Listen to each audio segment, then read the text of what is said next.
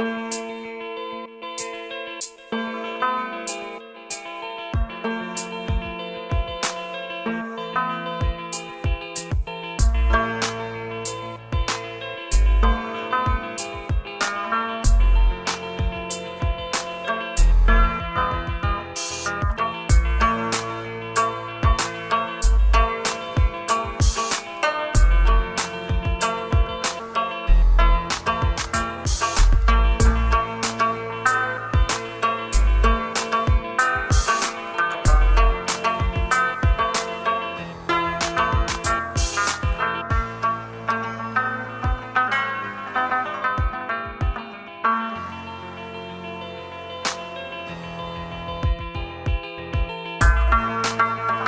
Bismillah ar-Rahman ar-Rahim.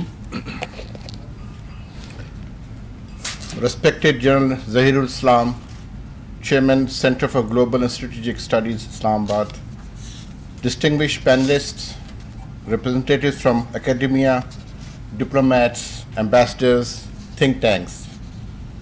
Ladies and gentlemen, Assalamu alaikum, and a very good afternoon. It's my great honor and pleasure to welcome you all to this seminar on cybersecurity. I would like to extend my gratitude to Center for Global and Strategic Studies, Islamabad, and officers of the National Security Division for their hard work in organizing this seminar and for inviting me to talk. Ladies and gentlemen, the decision to hold this seminar was taken a month back when in the National Security Division, we were visited by a representative from a cyber security agency who shared with us some important information about cyber security in Pakistan. This really motivated me to gather more information from some distinguished specialists in this field and hence this seminar. Today, it's our, it would be our endeavor to provide you necessary information on this very crucial and sensitive subject of cybersecurity, which is very important for Pakistan, facing terrorism and threats from both east and west. Ladies and gentlemen, wars have long been fought on land, in the air, and at the sea. Future wars, however, will be fought at the cyberspace. Cyber warfare is internet based involving politically motivated attacks on information and information systems.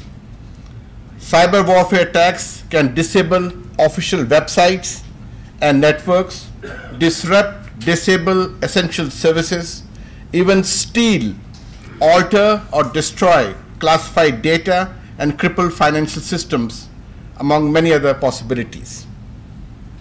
Cyber insecurity is now well established as a serious unconventional threat. How does a cyber warfare work? An electronic army of simply hackers uses computers to gain unauthorized access into the computers of a target country with the objective of controlling or crippling the target country's computer networks that is very scary because there's an embedded computer in almost all modern devices like our own mobile phones. Imagine an enemy's country's electronic army literally taking over our power plants, pipelines, refineries, airlines, banks, and even nuclear reactors. In 2010, online hackers who called themselves as India Cyber Army attacked 36 Pakistani government websites. In 2013, Indian hackers NIX7 Fox defaced the Election Commission of Pakistan's website. In retaliation, Pakistani hackers who called themselves as the True Cyber Army defaced 1,059 websites of Indian election bodies. On September 18, 2016, militant attacks an Indian Army brigade in Uri Following that incident, there was a full-fledged cyber war between Pakistani and Indian hackers. What these incidents tell us, beyond anything else, is the world we live in has changed, and it has changed fast. What matters is the data. In the past, when someone wanted to steal data, they would have to physically access files and copy or photo them to get the necessary data.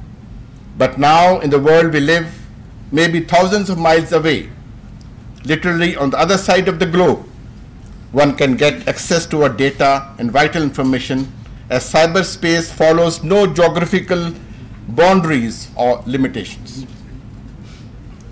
Data that is compromising and data that is sensitive can influence our lives and security. The WannaCry virus, which made the headlines recently, is a type of virus called ransomware, which makes your data unreadable. Protecting this data is as important as protecting ourselves. Our governments and various state institutions are, uh, store sensitive data. While it is safe to assume that our sensitive agencies and organizations protect their data and take steps to ensure its integrity, it's not always true in most organizations.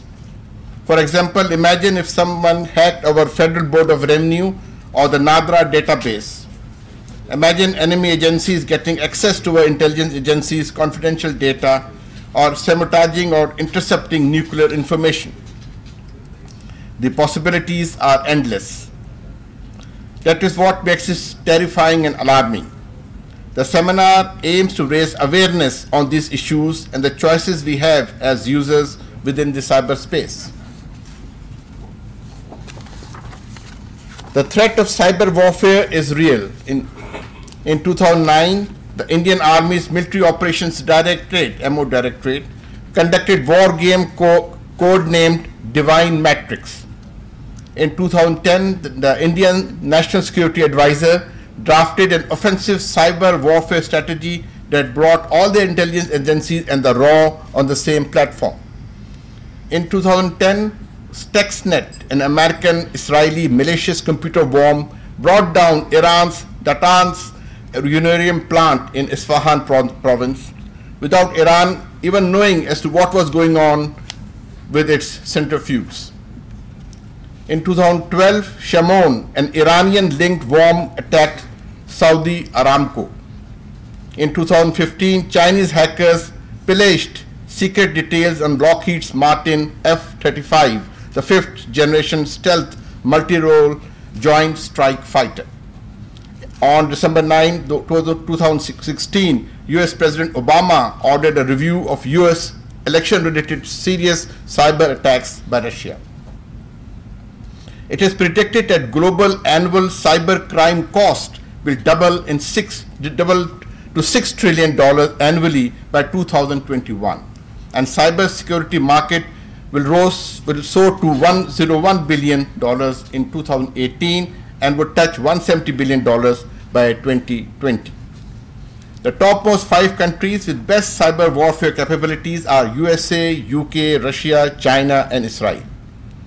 To achieve the status of cyber readiness, Pakistan needs to address areas like incident response to counter the threat on immediate basis with greater investments in cyber research and development, education, and capacity and skill development.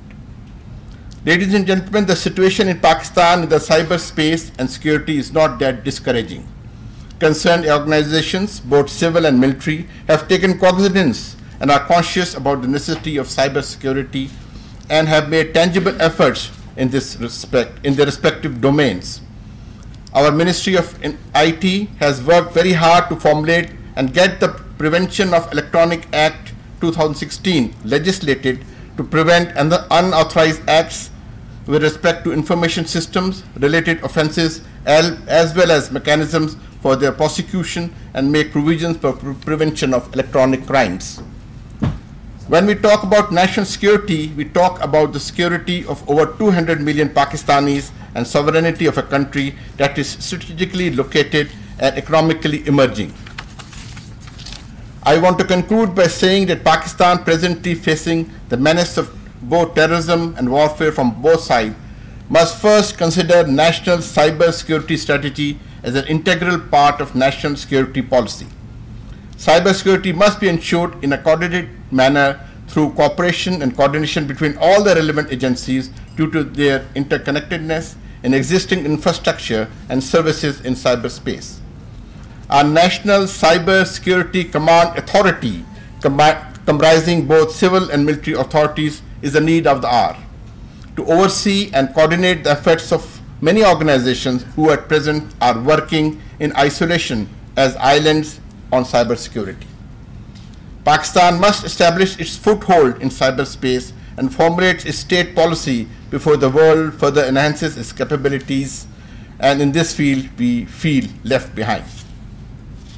Ladies and gentlemen, National Security Division serves as a secretariat for National Security Committee and the recommendations of this seminar would be processed and put up for consideration before the National Security Committee, which is the highest policy making and decision making body on security related issues at the national level presided over by the Prime Minister of Pakistan.